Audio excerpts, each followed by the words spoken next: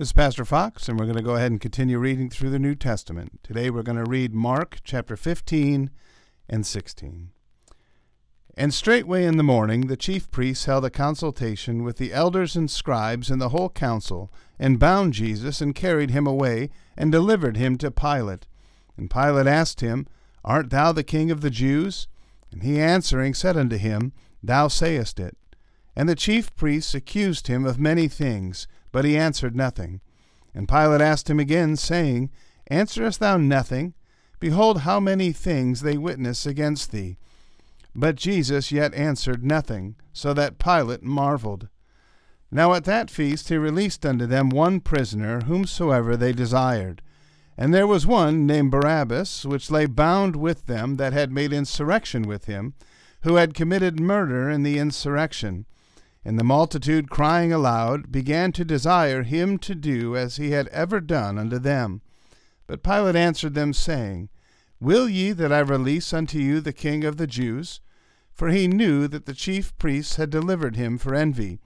But the chief priests moved the people, that he should rather release Barabbas unto them. And Pilate answered and said again unto them, What will ye then that I shall do unto him whom ye call the king of the Jews? And they cried out again, Crucify him. Then Pilate said unto them, Why, what evil hath he done? And they cried out the more exceedingly, Crucify him. And so Pilate, willing to content the people, released Barabbas unto them, and delivered Jesus, when he had scourged him, to be crucified. And the soldiers led him away into the hall, called the Praetorium, and they called together the whole band. And they clothed him with purple, and platted a crown of thorns, and put it about his head, and began to salute him, Hail, King of the Jews! And they smote him on the head with a reed, and did spit upon him, and bowing their knees worshipped him. And when they had mocked him, they took off the purple from him, and put his own clothes on him, and led him out to crucify him. And they compel one Simon, a Cyrenian, who passed by, coming out of the country, the father of Alexander and Rufus, to bear his cross. And they bring him unto the place Golgotha, which is being interpreted, the place of a skull. And they gave him to drink wine mingled with myrrh, but he received it not. And when they had crucified him, they parted his garments, casting lots upon them, what every man should take. And it was the third hour, and they crucified him. And the superscription of his accusation was written over, the King of the Jews. And with him they crucify two thieves, the one on his right hand, and the other on his left. And the scripture was fulfilled, which saith, And he was numbered with the transgressors. And they that passed by railed on him, wagging their heads, and saying, Ah, thou that destroyest the temple, and buildest it in three days, save thyself, and come down from the cross. Likewise also the chief priests, mocking, said among themselves with the scribes, He saved others, himself he cannot save. Let Christ the King of Israel descend now from the cross, that we may see and believe. And they that were crucified with him reviled him. And when the sixth hour was come, there was a darkness over the whole land until the ninth hour. And at the ninth hour Jesus cried with a loud voice, saying, Eloi, Eloi, lama sabachthani, which is being interpreted, My God, my God, why hast thou forsaken me? And some of them that stood by when they heard it said, Behold, he calleth Elias. And one ran and filled a sponge full of vinegar, and put it on a reed, and gave it him to drink, saying, Let alone, let us see whether Elias will come to take him down. And Jesus cried with a loud voice, and gave up the ghost. And the veil of the temple was rent in twain from the top to the bottom. And when the centurion, which stood over against him, saw that he so cried out, and gave up the ghost, he said, Truly this man was the Son of God. There were also women looking on afar off, among whom was Mary Magdalene, and Mary the mother of James the Less, and of Joseph and Salome, who also, when he was in Galilee, followed him and ministered unto him and many other women which came up with him unto Jerusalem.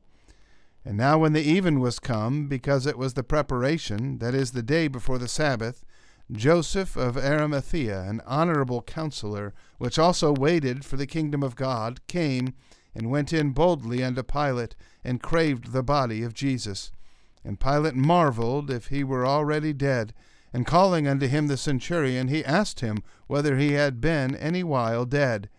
And when he knew it of the centurion, he gave the body to Joseph, and he brought and he bought fine linen, and took him down, and wrapped him in the linen, and laid him in a sepulchre which was hewn out of a rock, and rolled a stone under the door of the sepulchre. And Mary Magdalene and Mary the mother of Joseph beheld where he was laid. Chapter 16 And when the Sabbath was past, Mary Magdalene and Mary the mother of James and Salome had brought sweet spices, had bought sweet spices, that they might come and anoint him. And very early in the morning, the first day of the week, they came unto the sepulchre at the rising of the sun. And they said among themselves, Who shall roll us away the stone from the door of the sepulchre? And when they looked, they saw that the stone was rolled away, for it was very great. And entering into the sepulchre, they saw a young man sitting on the right side, clothed in a long white garment, and they were affrighted. And he saith unto them, Be not affrighted. Ye seek Jesus of Nazareth, which was crucified. He is risen. He is not here. Behold the place where they laid him. But go your way, tell his disciples and Peter that he goeth before you into Galilee. There shall ye see him, as he said unto you. And they went out quickly and fled from the sepulchre, for they trembled and were amazed. Neither said they anything to any man, for they were afraid. Now when Jesus was risen early the first day of the week, he appeared first to Mary Magdalene, out of whom he had cast seven devils. And she went and told them that had been with him, as they mourned and wept. And they, when they had heard that he was alive, and had been seen of her, believed not. After that he appeared in another form unto two of them, as they walked and went into the country. And they went and told it unto the residue, neither believed they them. Afterward he appeared unto the eleven as they sat at meat, and upbraided them with their unbelief and hardness of heart, because they believed not them which had seen him after he was risen. And he said unto them, Go ye into all the world, and preach the gospel to every creature. He that believeth and is baptized shall be saved, but he that believeth not shall be damned. And these signs shall follow them that believe. In my name shall they cast out devils, they shall speak with new tongues, they shall take up serpents, and if they drink any deadly thing, it shall not hurt them. They shall lay hands on the sick, and they shall recover. So then, after the Lord had spoken unto them, he was received up into heaven, and sat on the right hand of God. And they went forth and preached everywhere, the Lord working with them, and confirming the word with signs following.